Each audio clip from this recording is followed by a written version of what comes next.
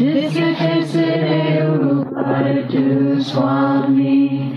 Disserteru Uparitu Swami. Sadhuka ke sapave. Sadhuka ke sapave. Sadhuka ke sapave. Sheikh ਬਰਮ ਨੇ ਗੁਰੂ ਨਾਨਕ ਦੇਵ ਦੇ ਸਵਾਲ ਕੀਤਾ।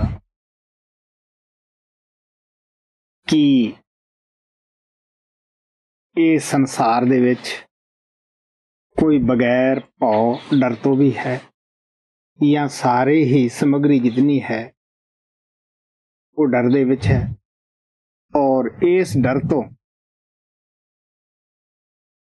ਅਗਰ ਬਚਣਾ ਹੋਵੇ ਤੇ ਕੀ ਕਰਨਾ ਚਾਹੀਦਾ ਹੈ? ਗੁਰੂ ਨਾਨਕ ਦੇਵ ਜੀ ਮਹਾਰਾਜ ਕਹਿੰਦੇ ਆ, ਦੇਖ ਬਈ ਪਿਆਰਿਆ। ਇਹ ਜਿਤਨੀ ਵੀ ਦੁਨੀਆ ਹੈ,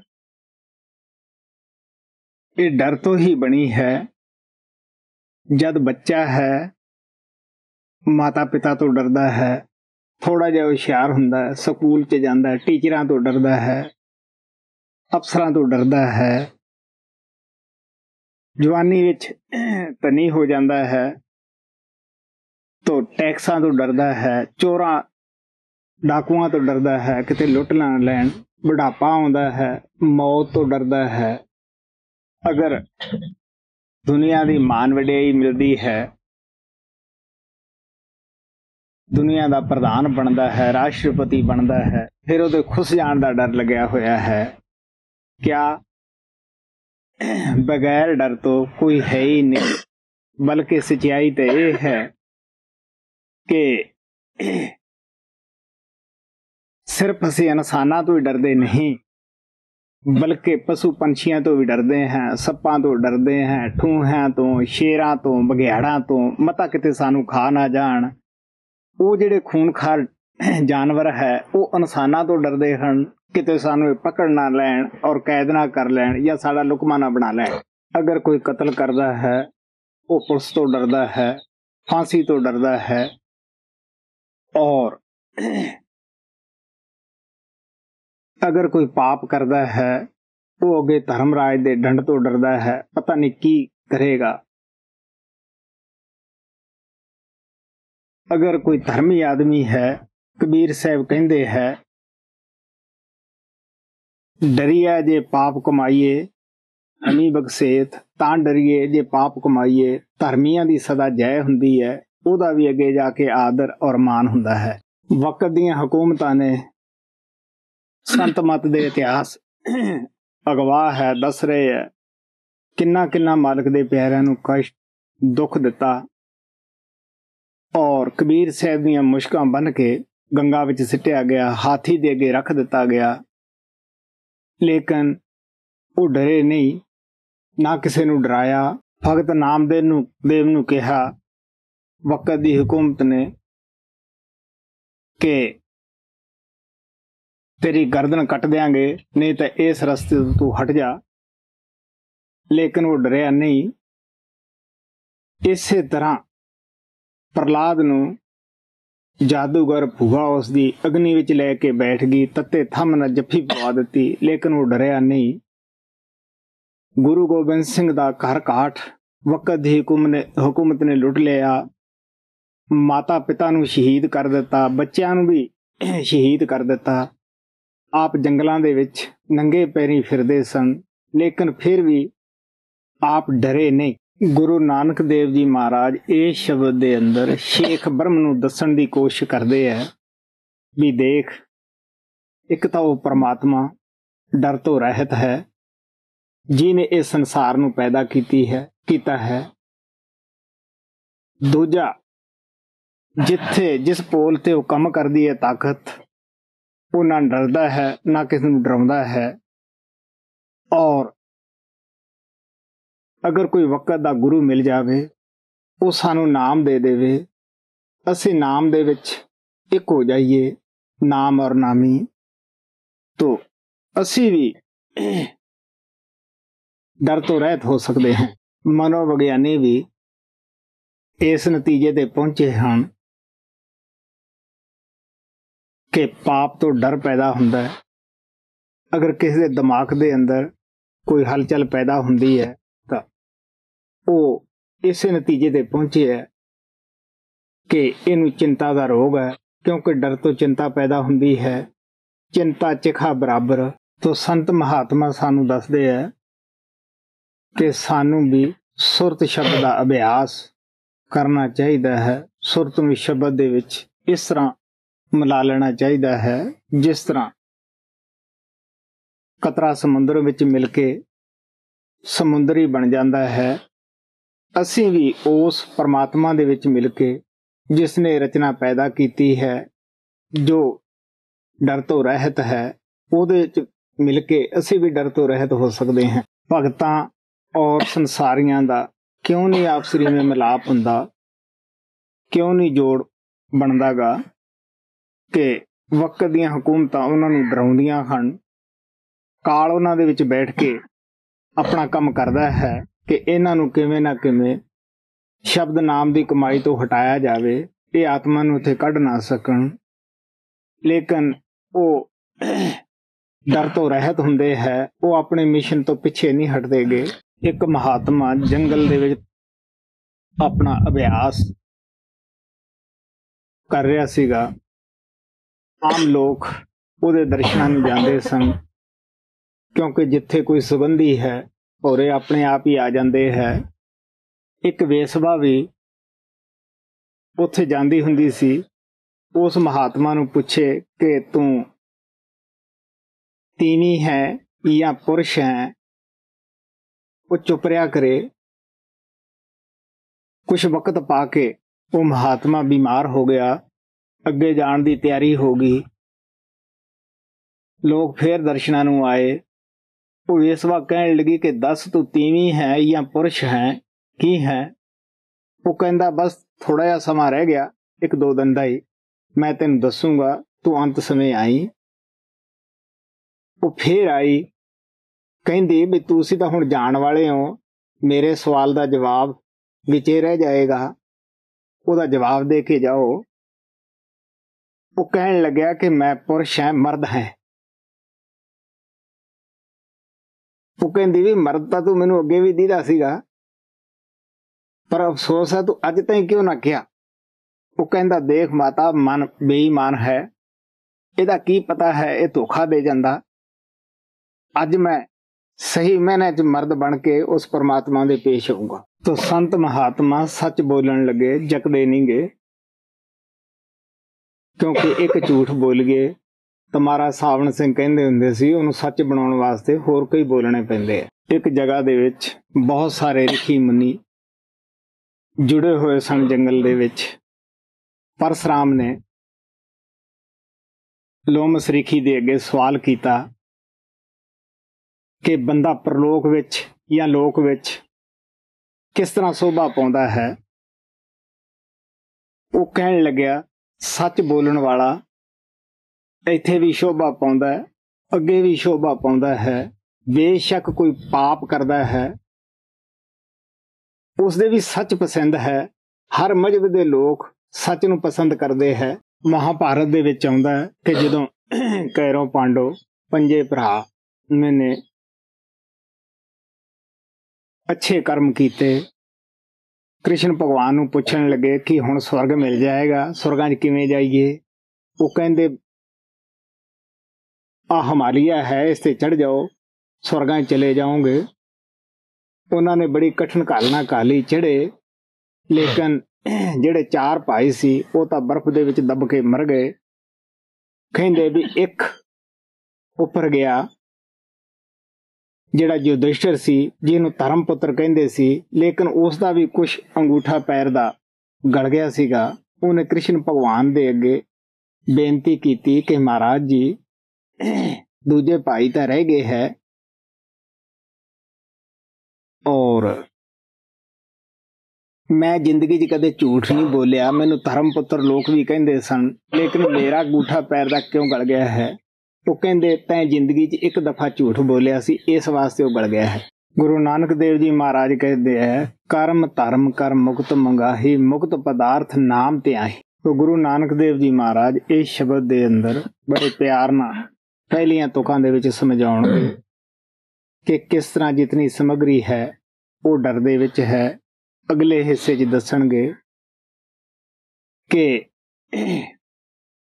ਕੌਣ ਡਰ ਤੋਂ ਰਹਿਤ ਹੈ ਔਰ ਉਸ ਤੋਂ ਡਰਨ ਦੇ ਡਰ ਤੋਂ ਬਚਣ ਵਾਸਤੇ ਆਪ ਦੱਸਣਗੇ ਕਿ ਸਤਿਗੁਰੂ ਤੋਂ ਬਗੈਰ ਤੁਹਾਨੂੰ ਨਾਮ ਨਹੀਂ ਮਿਲਦਾ, ਨਾਮ ਦੀ ਕਮਾਈ ਤੋਂ ਬਗੈਰ ਤੁਸੀਂ ਡਰ ਤੋਂ ਰਹਿਤ ਨਹੀਂ ਹੋ ਸਕਦੇਗੇ। ਹਾਂ। ਸ਼ਲੋਕ ਮਹੱਲਾ ਪਹਿਲਾ। ਭੈ ਵਿੱਚ ਪਵਨ, ਵਹਿ ਸਦਵਾਓ ਭੈ ਵਿੱਚ ਚੱਲੈ ਲਖ ਦਰਿਆਓ।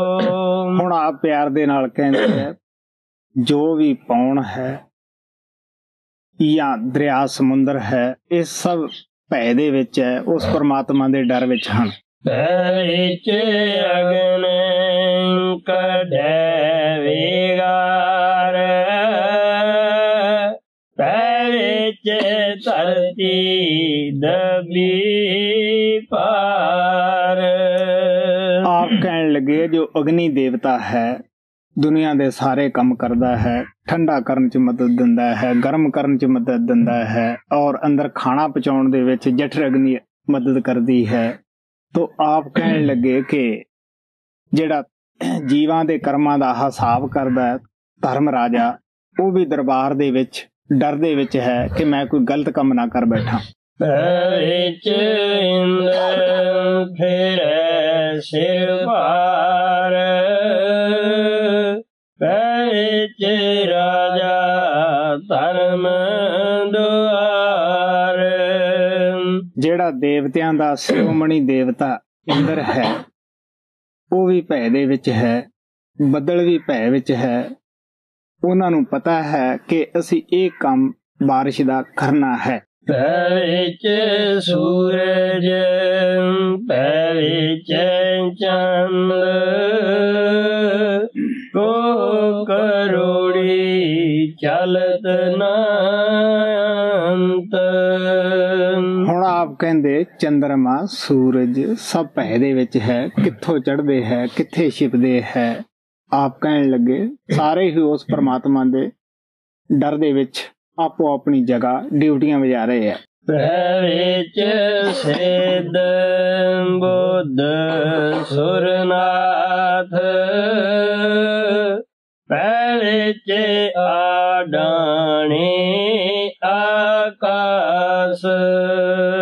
ਆਪ ਕਹਿਣ ਲੱਗੇ ਜੋ ਰਿਧੀਆਂ ਸਿਧੀਆਂ ਦੇ ਮਾਲਕ ਹਨ ਲੋਕਾਂ ਨੂੰ ਹੈਰਾਨ ਕਰਦੇ ਹੈ। ਐਸੇ ਐਸੇ ਚਮਤਕਾਰ ਦਿਖਾਉਂਦੇ ਹਨ। ਕਹਿੰਦੇ, ਉਹ ਵੀ ਪ੍ਰਮਾਤਮਾ ਦੇ ਡਰ ਦੇ ਅੰਦਰ ਹਨ। ਔਰ ਜੋ ਜਾਨਵਰ ਆਕਾਸ਼ ਦੇ ਅੰਦਰ ਉੱਡ ਰਹੇ ਹੈ ਜਾਂ ਆਕਾਸ਼ ਬਗੈਰ ਥੰਮਾ ਤੋਂ ਖੜਾ ਹੈ, ਇਹ ਵੀ ਡਰ ਦੇ ਅੰਦਰ ਹੈ।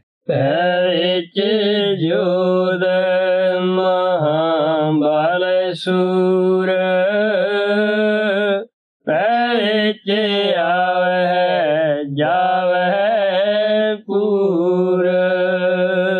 ਆਪ ਕਹਿੰਦੇ ਆ ਜੋਧੇ, ਮਹਾਬਲੀ, ਸੂਰਮੇ ਬੜੇ ਬੜੇ ਵਕਸਰ ਪੈਦਾ ਹੋਏ ਦੁਨੀਆ ਵਿੱਚ। ਉਹ ਵੀ ਪ੍ਰਮਾਤਮਾ ਦੇ ਡਰ ਵਿੱਚ ਹੀ ਹੈ। ਆਮ ਜਿਤਨੇ ਵੀ ਸਾਡੇ ਦੁਨੀਆਦਾਰ ਧਾਰਮਿਕ ਲੀਡਰ ਹਨ, ਅਗਰ ਕਿਸੇ ਨੂੰ ਲੜਾਉਣਾ ਹੋਵੇ ਜਾਂ ਕਿਸੇ ਕੌਮ ਦੇ ਬਰਖਲਾਫ ਬੋਲਣਾ ਹੋਵੇ, ਤਾਂ ਉਹਨੂੰ ਅਸੀਂ ਸੂਰਮਾ ਕਹਿੰਨੇ ਹੈ, ਜਿਹੜਾ ਕਿ ਸਾਡੀ ਦੇਹ ਦਾ ਅਸੀਂ ਮਜਬਾ ਅਖਤਿਆਰ ਕੀਤਾ ਹੁੰਦਾ ਹੈ ਉਸ ਨੂੰ ਹੀ ਧਰਮ ਸਮਝਦੇ ਹਾਂ ਔਰ ਉਹਦੀ ਰੱਖਿਆ ਵਾਸਤੇ ਇੱਕ ਦੂਜੇ ਨੂੰ ਕਤਲ ਕਰਦੇ ਹਾਂ, ਫਿਰ ਸ਼ਹੀਦ ਕਹਾਉਨੇ ਹੈ। ਲੇਕਿਨ ਗੁਰੂ ਨਾਨਕ ਜਾਂ ਕਬੀਰ ਸਾਹਿਬ ਸਭ ਸੰਤ ਸੂਰਮਾ ਉਸ ਨੂੰ ਕਹਿੰਦੇ ਹੈ, ਜਿਹੜਾ ਆਪਣੇ ਤਨ ਦੇ ਉੱਤੇ ਮਨ ਤੇ ਕਾਬੂ ਪਾ ਲੇ, ਸਰੀਰ ਦੀ ਸਾਧਨਾ ਕਰ ਲੇ। ਉਹ ਆਪਣੇ ਉਹ ਜੋਧਾ ਹੈ ਔਰ ਜਿਹੜਾ ਦਸੇ ਇੰਦਰੀਆਂ ਨਾਲ ਪੰਜ ਕਰਮ ਇੰਦਰੀਆਂ ਹੈ ਔਰ ਪੰਜ ਗਿਆਨ ਇੰਦਰੀਆਂ ਹਨ, ਇਹਨਾਂ ਤੇ ਕਾਬੂ ਪਾ ਲੇ। ਉਹ ਮਹਾਬਲੀ ਹੈ ਔਰ ਜਿਹੜਾ ਮਨ ਨੂੰ ਜਿੱਤ ਲਵੇ, ਉਹ ਸੂਰਮਾ ਹੈ। ਗੁਰੂ ਨਾਨਕ ਦੇਵ ਜੀ ਮਹਾਰਾਜ ਕਹਿੰਦੇ ਮਨ ਜੀਤੇ ਜਗ ਜੀਤ। ਅਗਰ ਅਸੀਂ ਮਨ ਨੂੰ ਜਿੱਤ ਲੈਨੇ ਹੈ ਤਾਂ ਜਗ ਨੂੰ ਬਣਾਉਣ ਵਾਲੇ ਨੂੰ ਹੀ ਆਪਦੇ ਉੱਤੇ ਮਿਹਰਬਾਨ ਕਰ ਲੈਨੇ ਹੈ। ਕਬੀਰ ਸਾਹਿਬ ਕਹਿੰਦੇ ਆ ਪੂਰਾ ਸੋ ਪਹਿਚਾਨੀਏ ਜੋ ਲੜੇ ਦੀਨ ਕੇ ਹੇਤ। ਪੁਰਜਾ ਪੁਰਜਾ ਕਟ ਮਰੇ ਕਬੂ ਨਾ ਛਾੜੇ ਖੇਤ। ਕਬੀਰ ਸਿੰਘ ਸਾਡਾ ਸੂਰਮਾ ਉਹ ਆਦਮੀ ਹੈ ਜਿਹੜਾ ਆਪਣੇ ਦੀਨ ਦੀ ਖਾਤਰ ਲੜੇ। ਸਾਡਾ ਦੀਨ ਕਿਹੜਾ ਹੈ? ਸਾਡਾ ਧਰਮ ਕਿਹੜਾ ਹੈ? ਜੋ ਪਰਮਾਤਮਾ ਦਾ ਧਰਮ ਹੈ, ਉਹੀ ਆਤਮਾ ਦਾ ਧਰਮ ਹੈ। ਗੁਰੂ ਅਰਜਨ ਦੇਵ ਜੀ ਮਹਾਰਾਜ ਨੇ ਸੁਖਮਨੀ ਸਾਹਿਬ ਵਿੱਚ ਦੱਸਿਆ ਹੈ, ਸਗਲ ਧਰਮ ਮੇ ਸ੍ਰੇਸ਼ਟ ਧਰਮ, ਹਰ ਕਾ ਨਾਮ ਜਪ ਨਿਰਮਲ ਕਰਮ। ਕਬੀਰ ਸਾਹਿਬ ਕਹਿੰਦੇ ਆ ਗगन ਦਵਾਮਾ ਵਾਜਿਆ, ਪੜਿਆ ਨਿਸ਼ਾਨੇ ਖਾਓ, ਖੇਤ ਜੋ ਮਾਂਡੇ ਸੂਰਮਾ ਅਬ ਜੂਜਨ ਕਾ ਧਾਓ। ਕਹਿਣ ਲੱਗੇ, ਜਦੋਂ ਅੰਦਰ ਸ਼ਬਦ ਦੀ ਆਵਾਜ਼ ਆਉਣੀ ਸ਼ੁਰੂ ਹੋ ਜਾਂਦੀ ਹੈ, ਦਮਾਮਾ ਵੱਜਦਾ ਹੈ। ਔਰ ਅਬ ਸਾਡਾ ਖੇਤ ਕਿਹੜਾ ਹੈ, ਕਿਹੜਾ ਮੈਦਾਨ ਹੈ, ਉਹ ਆ ਤੀਸਰਾ ਤਿਲ ਹੈ। ਔਰ ਜਿਹੜਾ ਇਸ ਜਗ੍ਹਾ ਅਕਾਗਰ ਹੋ ਕੇ ਇਸ ਜਗ੍ਹਾ ਨੂੰ ਆਪਣਾ ਘਰ ਬਣਾ ਲੇ, ਮਨੁੱਖਾ ਜਨਮ ਦੇ ਵਿੱਚ ਹੀ ਅਸੀਂ ਜੂਝ ਸਕਦੇ ਹਾਂ। ਗੁਰੂ ਨਾਨਕ ਦੇਵ ਜੀ ਮਹਾਰਾਜ ਕਹਿੰਦੇ ਐ ਨਹਿ ਤੇ ਪੰਜ ਜਵਾਨ ਗੁਰ ਥਾਪੀ ਦਿੱਤੀ ਕੰਡ ਜੀਓ। ਕਹਿਣ ਲੱਗੇ, ਜਦੋਂ ਇੱਥੇ ਅਸੀਂ ਜਾਣੇ ਆ ਕਾਮ, ਕ੍ਰੋਧ, ਲੋਭ, ਮੋਹ, ਹੰਕਾਰ ਦੀ ਜੋ ਅਸਥੂਲ ਗੰਢ ਹੈ, ਉਹ ਇੱਥੇ ਹੈ ਔਰ ਆਪ ਕਹਿਣ ਲੱਗੇ, ਪੂਰਾ ਗੁਰੂ ਇਹਨਾਂ ਪੰਜਾਂ ਦੇ ਨਾਲ ਹੀ ਸਾਨੂੰ ਲੜਾਉਂਦਾ ਹੈ, ਸ਼ਬਦ ਧੁਨ ਦੇ ਨਾਲ ਲੈਸ ਕਰ ਦਿੰਦਾ ਹੈ ਔਰ ਇਹ ਬੜੇ ਜਵਾਨ ਬਲਵਾਨ ਹੈ, ਜਿੱਤੇ ਨਹੀਂ ਜਾ ਸਕਦੇ। ਲੇਕਿਨ ਪੂਰੇ ਗੁਰੂ ਦਾ ਪਿੱਠ ਤੇ ਹੱਥ ਹੁੰਦਾ ਹੈ, ਜਿਹੜੇ ਸੇਵਕ ਇਹਨਾਂ ਨਾਲ ਘੋਲ ਕਰਦੇ ਹੈ, ਰਾਤ ਦਿਨ ਉਹਨਾਂ ਨੂੰ ਪਤਾ ਹੈ ਕਿ ਸਤਿਗੁਰੂ ਕਿਸ ਤਰ੍ਹਾਂ ਅੰਦਰ ਸ਼ਬਦ ਰੂਪ ਹੋ ਕੇ ਮਦਦ ਕਰ ਰਿਹਾ ਹੈ। ਕਬੀਰ ਸਾਹਿਬ ਕਹਿੰਦੇ ਆ ਮੈਂ ਉਹਨਾਂ ਨੂੰ ਸੂਰਮੇ ਨਹੀਂ ਕਹਿੰਦਾ ਜੋ ਤਲਵਾਰਾਂ ਤੋਪਾਂ ਦੇ ਨਾਲ ਲੜਦੇ ਹੈ। ਅਸਲੀ ਸੂਰਮੇ ਉਹ ਹੈ ਜਿਹੜੇ ਇਹਨਾਂ ਪੰਜਾਂ ਜਵਾਨਾਂ ਦੇ ਨਾਲ ਲੜਦੇ ਹੈ, ਘੁਲਦੇ ਹੈ। ਇਹਨਾਂ ਤੇ ਗੁਰੂ ਦੀ ਦਇਆ ਲੈ ਕੇ ਫਤਿਹ ਪਾਉਂਦੇ ਹੈ। ਸੰਤ ਕਿਸੇ ਨੂੰ ਕਮਜ਼ੋਰ ਦਿਲ ਨਹੀਂ ਬਣਾਉਂਦੇਗੇ। ਸਚਾਈ ਤਾਂ ਇਹ ਹੈ, ਮੈਂ ਪਹਿਲਾਂ ਹੀ ਦੱਸਿਆ ਸੀਗਾ ਕੌਣ ਨਿਰਭਉ ਹੋ ਜਾਂਦਾ ਹੈ ਕੌਣ ਡਰਦਾ ਹੈ ਅੱਗੇ ਦੱਸਣਗੇ ਕਿ ਜੋ ਪਾਪ ਕਮਾਉਂਦਾ ਹੈ। ਸਗਲੇ ਆਪੋ ਲਿਖਿਆ ਸਿਰ ਲੇਖ। ਨਾਨਕ ਨਿਰਭਉ ਨਿਰੰਕਾਰ ਸਚ ਏਕ। ਉਹ ਕਹਿੰਦੇ ਹਰ ਜੀਵ ਦੇ ਪੈਦਾ ਹੋਣ ਵੇਲੇ ਡਰ ਲਿਖਿਆ ਜਾਂਦਾ ਹੈ। ਅਗਰ ਨਿਰਭਉ ਹੈ, ਬਿਨਾਂ ਡਰ ਤੋਂ ਹੈ, ਉਹ ਪ੍ਰਮਾਤਮਾ ਹੈ, ਵਹਿਗੁਰੂ ਹੈ, ਅਕਾਲ ਪੁਰਖ ਹੈ। ਗੁਰੂ ਨਾਨਕ ਦੇਵ ਜੀ ਮਹਾਰਾਜ ਕਹਿੰਦੇ ਆ, ਭੈ ਕਾਹੂ ਤੋ ਦੇਤ ਨਹਿ ਪੈ ਮਾਨਤ ਆਣ।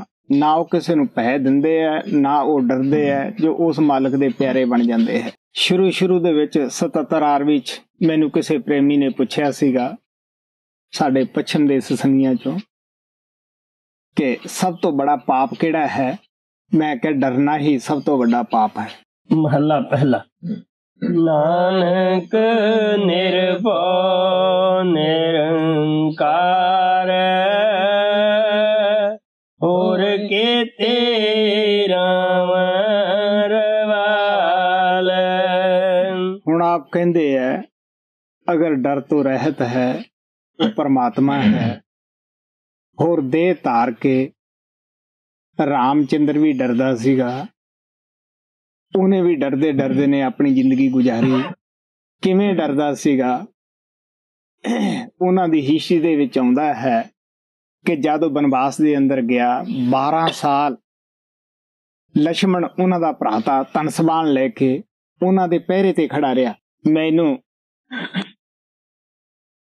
ਅੱਠ ਸਟੇਟਾਂ ਦੇ ਰਾਜਿਆਂ ਦੇ ਨਾਲ ਮਿਲਣ ਦਾ ਮੌਕਾ ਮਿਲਿਆ ਪੰਜਾਬ ਦੇ ਵਿੱਚ 47 ਤੋਂ ਔਰ 50 ਤੱਕ 5-6 ਸਾਲ। ਮੈਂ ਨਹੀਂ ਦੇਖਿਆ ਕੋਈ ਡਰ ਤੋਂ ਰਹਿਤ ਹੋਵੇ। ਕਿਸੇ ਦਾ 200 ਪਹਿਰੇ ਤੇ ਆਦਮੀ ਆਰਮੀ ਦਾ ਲਾਇਆ ਹੋਇਆ ਸੀਗਾ, ਕਿਸੇ ਦਾ 100 ਲਾਇਆ ਹੋਇਆ ਸੀਗਾ, ਫਿਰ ਵੀ ਵਿਸ਼ਵਾਸ ਨਹੀਂ ਸੀਗਾ। ਮਾਮੂਲੀ ਜਿਹਾ ਅਗਰ ਖੜਕਾ ਹੋ ਗਿਆ ਰਾਤ ਨੂੰ, ਚੂਹੇ ਨੇ ਕੋਈ ਭਾਂਡਾ ਖੜਕਾਤਾ ਤੇ ਫੌਰਨ ਅਲਾਰਮ ਵੱਜ ਜਾਂਦਾ ਸੀਗਾ। ਕਿ ਕੀ ਹੋਇਆ? ਸੰਤਰੀ ਸੋਏ ਤਾਂ ਨਹੀਂ ਗਏ? ਕੀਤੀਆਂ ਕਨ ਕਹਾਣੀਆਂ, ਕੇਤੇ ਬੇਦ ਵਿਚਾਰ। ਗੁਰੂ ਨਾਨਕ ਕਹਿੰਦੇ ਆ ਕਿ ਵੀ ਦੇਖ ਸ਼ੇਖ ਬਰਮ ਕ੍ਰਿਸ਼ਨ ਦੀਆਂ ਬੜੀਆਂ ਕਹਾਣੀਆਂ ਲੋਕ ਗਾਉਂਦੇ ਹੈ। ਲੋਕ ਬੜਾ ਹੀ ਪੜਦੇ ਪੜਾਉਂਦੇ ਹੈ, ਵੇਦਾਂ ਦਾ ਵਿਚਾਰ ਕਰਦੇ ਹੈ। ਲੇਕਿਨ ਉਸ ਡਰ ਮੌਤ ਦੇ ਤੋਂ ਧਰਮਰਾਜ ਤੋਂ ਜਮ ਅਜਰਾਇਲ ਫਰੇਸਤੇ ਤੋਂ ਕੋਈ ਨਿਡਰ ਨਹੀਂ ਹੋ ਸਕਦਾਗਾ ਪੜ ਪੜਾ ਕੇ ਜਾਂ ਕਹਾਣੀਆਂ ਗਾ ਕੇ। ਕੀਤੇ ਨਚਹਿ ਮੰਗਤੇ ਗਿੜ ਮੋੜ ਪੂਰੇ ਤਾਲ। ਹੁਣ ਆਪ ਕਹਿੰਦੇ ਆ ਰਾਮ ਕ੍ਰਿਸ਼ਨ ਦੀਆਂ ਕਹਾਣੀਆਂ ਗਾ ਗਾ ਕੇ ਲੋਕ ਹਲੇ ਤੱਕ ਵੀ ਨੱਚਦੇ ਹਨ ਉਹਨਾਂ ਦੇ ਨਾਂ ਤੇ ਪੈਸੇ ਮੰਗਦੇ ਹਨ ਔਰ ਪੈਸੇ ਲੈਣ ਦੇ ਮਾਰੇ ਬੜੀਆਂ ਪੁਆਟਣੀਆਂ ਖਾ ਕੇ ਜ਼ਮੀਨ ਤੇ ਵੀ ਵਿਚਾਰੇ ਡਿੱਗਦੇ ਹਨ। ਲੇਕਿਨ ਉਹ ਮੌਤ ਤੇ ਡਰ ਤੋਂ ਫਿਰ ਵੀ ਬਚ ਨਹੀਂ ਸਕਦੇ ਜੀ। ਬਾਜ਼ਾਰੀ ਬਾਜ਼ਾਰ ਮੈਂ ਆਏ ਕਢੈ ਬਾਜ਼ਾਰ। ਆਪ ਕਹਿਣ ਲੱਗੇ ਜਿਸ ਤਰ੍ਹਾਂ ਮਸ਼ਕਰੇ ਲੋਕ ਲੋਕਾਂ ਨੂੰ ਬਾਜ਼ਾਰਾਂ ਦੇ ਵਿੱਚ ਆ ਕੇ ਮਸ਼ਕਰੀਆਂ ਕਰਦੇ ਹੈ। ਇਸੇ ਤਰ੍ਹਾਂ ਉਹ ਲੋਕ ਵੀ ਆਪੋ ਆਪਣੀਆਂ ਦੁਕਾਨਾਂ ਖੋਲ ਕੇ ਲੋਕਾਂ ਨੂੰ ਗੁੰਮਰਾਹ ਕਰਦੇ ਹੈ। ਕਿਸੇ ਕਹਾਣੀਆਂ ਸੁਣਾ ਕੇ ਲੇਕਿਨ ਮੌਤ ਤੋਂ ਨਾ ਉਹ ਡਰ, ਉਹਨਾਂ ਦਾ ਹਟਦਾ ਹੈ ਔਰ ਨਾ ਉਹਨਾਂ ਦੇ ਸੇਵਕਾਂ ਦਾ ਹੀ ਹਟਦਾ ਹੈ ਡਰ। ਗਾਵਹਿ ਰਾਜੇ ਰਾਣੀਆਂ, ਬੋਲੇ ਪਤਾਲ ਲਖ ਲਖ ਟਕਿਆਂ ਕੇ ਮੁੰਦੜੇ। ਲਖ ਟਕਿਆਂ ਕੇ ਹਾਰ। ਹੁਣ ਆ ਪਿਆਰ ਨਾਲ ਕਹਿੰਦੇ ਐ ਉਹ ਕੀ ਕਰਦੇ ਹੈ ਧਰਮ ਸਥਾਨਾਂ ਦੇ ਅੰਦਰ ਬੈਠ ਕੇ? ਜਾਂ ਪਿੰਡਾਂ ਵਿੱਚ ਜਾ ਕੇ ਬੜੇ ਬੜੇ ਨਗਰਾਂ ਵਿੱਚ ਜਾ ਕੇ?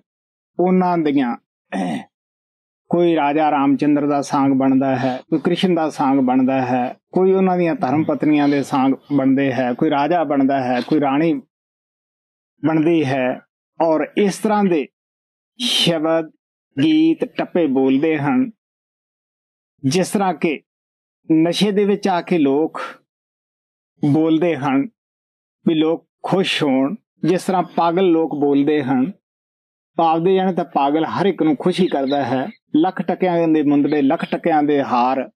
ਆਪ ਕਹਿਣ ਲੱਗੇ, ਉਹਨਾਂ ਦੇ ਉਸੇ ਤਰ੍ਹਾਂ ਬੇਸ਼ੱਕ ਉਹ ਮਲਮੇ ਦੇ ਹੁੰਦੇ ਹੈ, ਹਾਰ ਪਾਏ ਹੁੰਦੇ ਹੈ, ਕਾਫੀ ਕੀਮਤੀ ਔਰ ਆਪ ਕਹਿਣ ਲੱਗੇ, ਜਿਹੜੀ ਦੇਹ ਹੈ, ਇਹ ਇੱਕ ਇਸ਼ਾਰ ਦੀ ਢੇਰੀ ਹੈ। ਆਖਰ ਉਸ ਨੇ ਇਸ਼ਾਰ ਹੋ ਜਾਣਾ ਹੈ। ਗੁਰੂ ਨਾਨਕ ਦੇਵ ਦਾ ਭਾਵ ਕਿਸੇ ਦੀ ਨਿੰਦਿਆ ਜਾਂ ਆਲੋਚਨਾ ਕਰਨ ਦਾ ਨਹੀਂ ਸੀ। ਨਾ ਹੋਣੀ ਹੈ ਕਿਸੇ ਮਹਾਤਮਾ ਦਾ।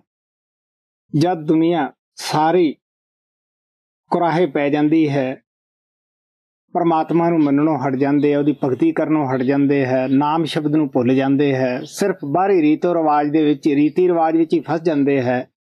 ਐਸੇ ਲੋਕਾਂ ਵਾਸਤੇ ਮਹਾਤਮਾ ਇੱਕ ਚਾਨਣ ਮਨਾਰਾ ਬਣ ਕੇ ਆਉਂਦੇ ਆ ਲੋਕਾਂ ਨੂੰ ਜਗਾਉਂਦੇ ਆ ਕਿ ਪਿਆਰਿਓ, ਜੋ ਕੁਝ ਤੁਸੀਂ ਕਰਦੇ ਹੋ, ਇਹ ਪਾਣੀ 'ਚ ਮਦਾਨੀ ਹੈ। ਪਾਣੀ ਦੇ ਵਿੱਚ ਮਦਾਨੀ ਪਾ ਕੇ ਜਿੰਨਾ ਮਰਜ਼ੀ ਉਸ ਨੂੰ ਤੁਸੀਂ ਗੇੜਾ ਦੇ ਲਓ। ਝੱਗ ਨਿਕਲੇਗੀ, ਮੱਖਣ ਨਹੀਂ ਨਿਕਲੇਗਾ। ਉਹ ਕਹਿੰਦੇ ਜਦ ਮੱਖਣ ਉਦੋਂ ਹੀ ਨਿਕਲੇਗਾ ਜਦ ਤੁਸੀਂ ਦੁੱਧ ਦੇ ਵਿੱਚ ਮਦਾਨੀ ਪਾਉਂਗੇ ਸਵਾਮੀ ਜੀ ਮਹਾਰਾਜ ਵੀ ਕਹਿੰਦੇ ਆ, ਪਾਣੀ ਮੱਥੇ ਹੱਥ ਕੁਛ ਨਹੀਂ, ਖੀਰ ਮੱਥਨ ਆਲਸ ਭਾਰਾ। ਜਿਤ ਤਨ ਪਾਈਐ ਨਾਨਕਾ, ਸੇ ਤਨ ਹੋਵੇ ਗਿਆਨ ਨ ਗਲੀ ਟੁੰਡੀਐ ਕਰੜਾ ਸਾਰ। ਗੁਰੂ ਨਾਨਕ ਦੇਵ ਜੀ ਮਹਾਰਾਜ ਕਹਿੰਦੇ ਐ ਕਿ ਗਿਆਨ ਤੁਸੀਂ ਗੱਲਾਂ ਨਾਲ ਪ੍ਰਾਪਤ ਨਹੀਂ ਕਰ ਸਕਦੇਗੇ, ਕੋਈ ਗ੍ਰੰਥ ਵੇਦ ਸ਼ਾਸਤਰ ਪੜ੍ਹ ਕੇ ਪ੍ਰਾਪਤ ਨਹੀਂ ਕਰ ਸਕਦੇਗੇ। ਇਹਦਾ, ਇਹ ਬੜਾ ਕਰੜਾ ਪ੍ਰਾਪਤ ਕਰਨਾ ਹੈ, ਜਿਸ ਤਰ੍ਹਾਂ ਲੋਹਾ ਕਰੜਾ ਹੁੰਦਾ ਹੈ ਗੁਰੂ ਨਾਨਕ ਦੇਵ ਜੀ ਪੜਨ ਪੜਾਉਣ ਨੂੰ ਗਿਆਨ ਨਹੀਂ ਕਹਿੰਦੇ, ਉਹ ਕਹਿੰਦੇ, ਗਿਆਨ ਧਿਆਨ ਧੁਨ ਜਾਣੀਏ, ਅਕਥ ਕਹਾਵਾ ਸੋਏ। ਕੌਣ ਗਿਆਨੀ ਹੈ ਜਿਹੜਾ ਉਹ ਸ਼ਬਦ ਨਾਮ ਦੇ ਵਿੱਚ ਮਿਲ ਜਾਵੇ ਔਰ ਪਰਮਾਤਮਾ ਔਰ ਇੱਕ ਹੋ ਜਾਣ? ਜੋ ਗਿਆਨ ਕਥਨ ਦੇ ਵਿੱਚ ਨਹੀਂ ਆਉਂਦਾ, ਦੇਖਣ 'ਚ ਨਹੀਂ ਆਉਂਦਾਗਾ, ਇਹਨਾਂ ਕੰਨਾਂ ਨਾਲ ਸੁਣਨ ਵਿੱਚ ਨਹੀਂ ਆਉਂਦਾਗਾ, ਉਸ ਗਿਆਨ ਨੂੰ ਗੁਰੂ ਨਾਨਕ ਦੇਵ ਜੀ ਮਹਾਰਾਜ ਗਿਆਨ ਕਹਿੰਦੇ। ਕਰਮ ਮਿਲੇ ਤਾਂ ਪਾਈਐ।